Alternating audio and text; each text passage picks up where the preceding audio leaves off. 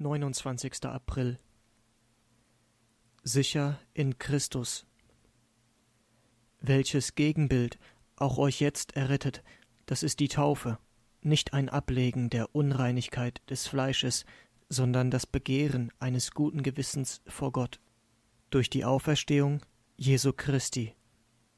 1. Petrus 3, Vers 21 Abgesehen von ein paar wenigen wurden alle durch das Gericht Gottes in der Flut weggerafft. Auch das jüngste Gericht wird plötzlich kommen und alle mit einschließen. Alle, die in Christus Jesus sind, werden das Gericht aber ohne Schaden überstehen und sicher hindurchgeleitet werden. In Christus zu sein, ist wie in der Arche zu sein. Wir werden die Stürme des Gerichts sicher überstehen. Die Taufe von der Petrus im heutigen Vers spricht, ist charakterisiert durch nicht ein Ablegen der Unreinigkeit des Fleisches, sondern das Begehren eines guten Gewissens vor Gott.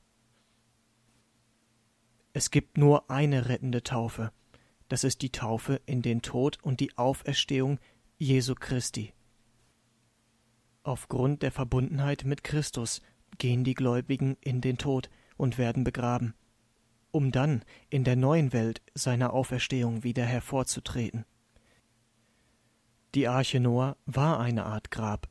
Wer hineinging, starb der alten Welt. Als sie die Arche wieder verließen, erlebten sie eine Art Auferstehung, indem sie eine neue Welt betraten. Petrus erklärt uns, dass jeder Christ eigentlich eine vergleichbare Erfahrung macht.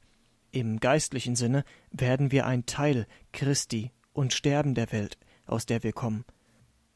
Aber der Tag unserer Auferstehung rückt näher, und ein neues Leben und eine neue Welt erwarten uns.